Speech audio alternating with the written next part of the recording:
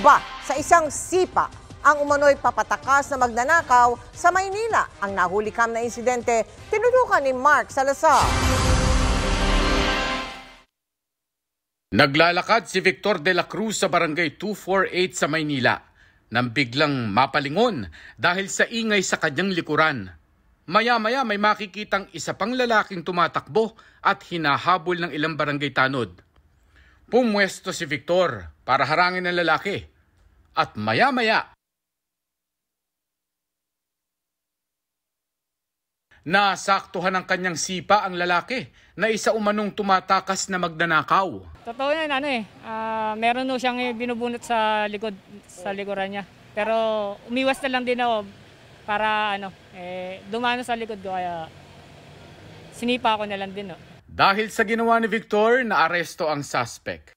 Nagpapasalamat man, ang kapitan ng barangay nagpaalala na may panganib minsan ang gumitna sa isang krimeng ganyan. Kung sa tingin nila kaya, okay lang po. Pero kung medyo hindi at may mga armas, mas mainam na huwag na lang, pabayaan na lang. Habulin na lang nila hanggang sa makakita ng pulis, sila na bahala, yung pulis ang humuli.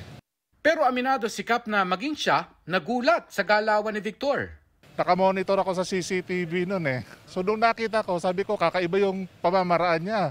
Parang martial arts. So sabi ko, i-post ko nga sa Facebook ako para makita ng mga oh, ng mga tao yung ginawa niya.